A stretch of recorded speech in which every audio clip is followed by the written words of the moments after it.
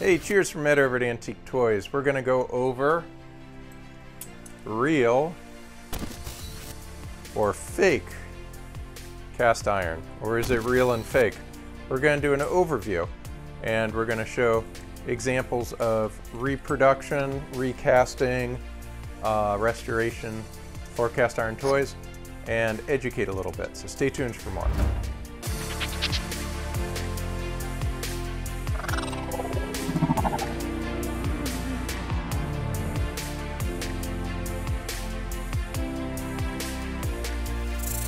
Okay, we're going to start with something straightforward. It's a Hubley crash cart that's been reproduced. Uh, the wheels on this should be rubber. They're not. They're solid. The fastener should be a rivet. It is not. It's a hex head screw. This one, most people can spot a mile away. Decent decorator piece, but when you see the real deal, you're like, hmm, no, not quite just doesn't do it. Um, the scale appears to be slightly smaller. Uh, they have a thing called shrink compensation and so the reproduction usually is not quite the same. Uh, here's an interesting one. 20s racers. It reminds us of Hubley toys and it's not, uh, they don't claim to be they did a pretty decent job. I was thinking this was 80s, 90s. Uh, this one was sold at the Cows Outside in Minnesota for $21.95. And it is made by Quest or Quest in uh, Creswell, Oregon. And they cared enough on this toy to give an interesting overview of toys in the 1900s and how they were cast. Um, the country of origin could potentially be that same uh, United States in Creswell, Oregon. They did print this in Taiwan, so it makes me a little suspicious. But the, the quality is decent. Um, could have been done by somebody like John Wright. But again, when you see the real one, you say to yourself, ah, I get it. Uh, colors, quite different on the real one. The real one ends up being uh, almost a half an inch bigger. Um, so the original's bigger. The design's quite similar. I would say they probably took the mold and, uh, well, actually they took the toy, created a mold, and remastered it. Uh, the driver, similar, but um, the detailing's just not there. So this would be what they call kind of a softer casting, the details are not as good.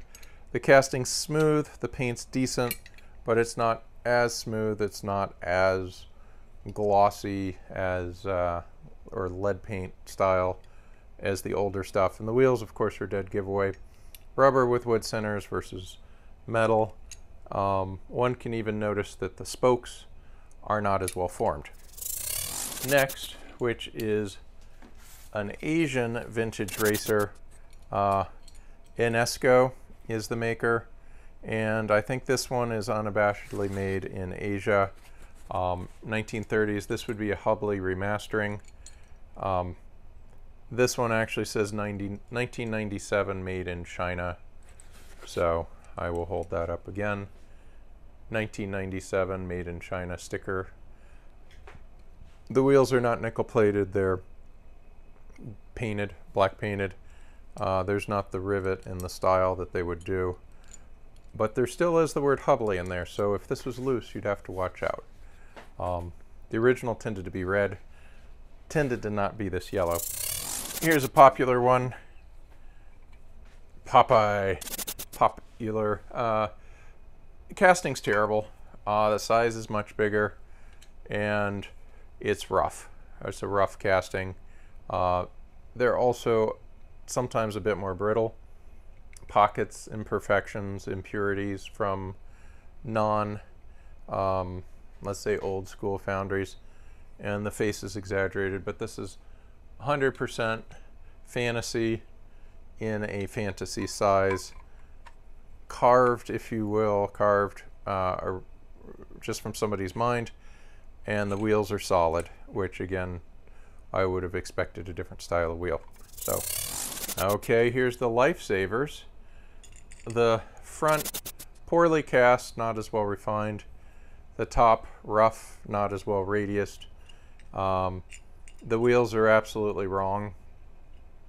They're just simpleton versus something more refined like the old guys.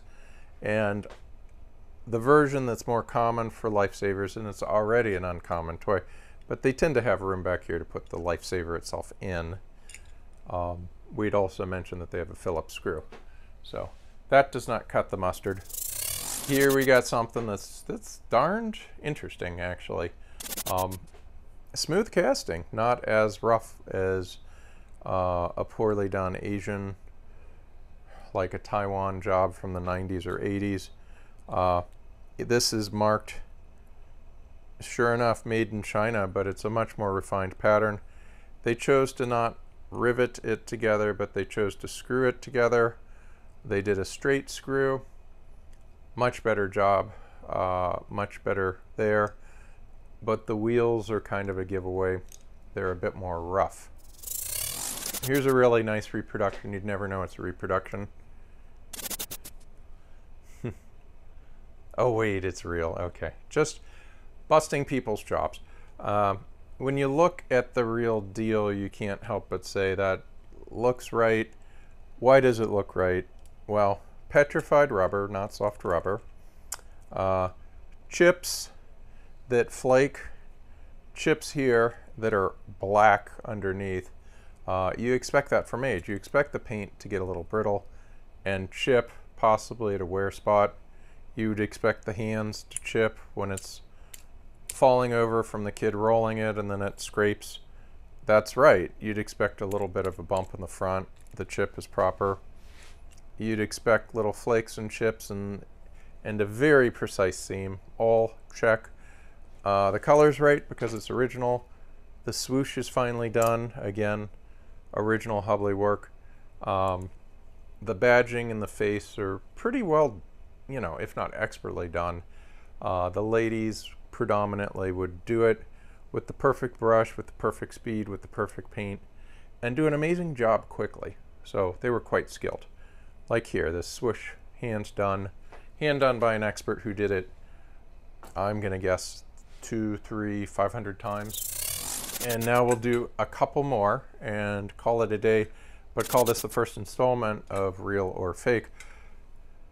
Fantasy piece. Uh, I bought it because it's a horseless carriage style.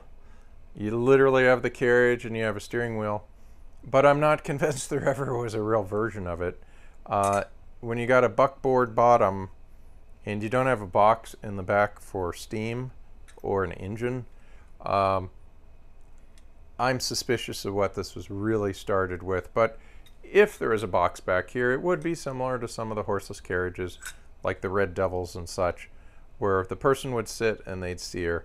Um, this, I think, is fantasy based on taking a horse-drawn design and doing an almost um, homage to original carriages that then transitioned to steam-powered carriages one of the best, if not the best toy of the newly done uh, McAllister. And this is uh, Fonton, Ohio since 1886. Uh, McAllister Mercantile 1907. And it's a general merchandiser. I suspect they commissioned this and they had some standards. They, they wanted it done smoothly. Um, at a good price point. And so it's well cast. The lines are straight. The sand is not as fine as the old sand, so you get a little more inclusions. Like right around here, the skill of the pattern maker is more average versus, um, you know, 1890s where somebody probably get fired because it wasn't perfect. Um, lettering's decent. Wheels are just not that good it is very difficult to get wheels done in the perfect casting methods as the old timers and it always shows so always look at the wheels and some of the bumps back here are just a little too much Um, and then they use a screw versus a rivet. But I still think it's a great toy. So if you have a chance to pick up a McAllister, um, I think they run under $80 or so. Uh, and there are a couple of couple of versions of it. Elephant in the Room, New York to Philadelphia Transport. The Dent toy is bigger. It's probably this much bigger, a little taller, a little wider. It's also not as heavy. Um, this is a beast. This is very, very heavy. And you might say the high end of artistry was when the castings were extra thin and efficient to save money in weight, to save money in uh, material. This guy, again, probably the shrink compensated or not shrink compensated small version of the bigger one. Um, it's, it's an okay try. It's just not there. The wheels aren't right. The openings aren't right. But you know what? If you find them for $70, um, you know, it is what it is. It's a decorative piece and it's not a thousand. it's under 100. So New York to Philadelphia, screws, homage to the Dent, if not a recast of the Dent mercantile transport like an express truck. By the way, this is a full restoration at the bottom. This is a Hubley res restoration, which is immaculate. Too immaculate, but gorgeously done. Um, the last one is a Dugan sand and gravel. And on this guy, you say, the casting seems right. This seems right. The wheels are exceptional, right? They're on the money. The seams are on the money. Most of us don't recall that label, Dugan. If you flip it over, it's signed Arcade Toys or stamped in Arcade Toys. There's place for driver. That seems right. The wheels just aren't chipped. So one may say, what is going on here? Well, it is a original arcade toy, expertly refinished by Iron Man Arnie Prince, and then custom labeled to match business cards that he's found. So he picked the color scheme similar to the vintage company color scheme. He picked Dugan Sand and Gravel, which I believe was a California style uh, company, maybe in 20s, 30s. And so he created what does not exist in the toy world, uh, and he filled in what would have been a private label of the time. So it's it's darned good. It's a beautiful toy. Uh, it's just an expert, expert restoration using an existing chassis.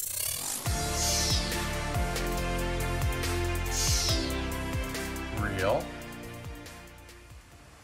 contemporary fake, fake, fake, fantasy, contemporary, recast of the original, potentially American with a nod to the real deal, Expert Resto by Arnie Prince, awesome work my friend, original arcade cast iron Model T, fake slash fantasy, original piece with body shop style, almost over restoration, McAllister, and The Real Deal by Hubley Toys.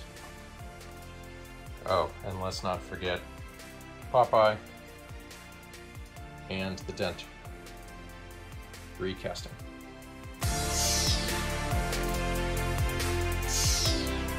Okay, so in summary, we have real, real, real but restored, fake, fake, fake, fake, fake, real one which we didn't touch on, but this is a Ford Model T by Arcade. Right as rain because of the wheels. Fake. Uh, expert body shop style restoration, but just too nice. And then we've got a contemporary, most likely hired um, commemorative that was pretty well done, just for contrast. as well as an original Hubley motorcycle. So have some fun. Uh, cheers from Ed over at Antique Toys. Hope this helped out. Please be sure to comment below. That is much appreciated. Like the channel, please. Check out our merchandise, such as t-shirts, and have a great day.